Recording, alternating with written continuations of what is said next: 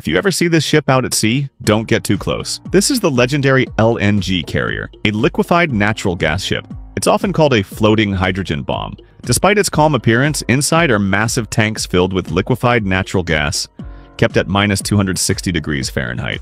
If even a small leak or fire occurs, the explosion could turn the entire sea surface into flames. These ships are built specifically to transport LNG. Each one can carry up to 200,000 cubic meters of fuel, packing the energy equivalent of an atomic bomb. That's why when other vessels spot one at sea, they always steer clear. Its internal structure is incredibly complex. The storage tanks are made from a special metal called Invar steel, which hardly expands or contracts with temperature changes, a must for keeping stability in such extreme cold. But the walls are unbelievably thin, just a bit thicker than a sheet of paper.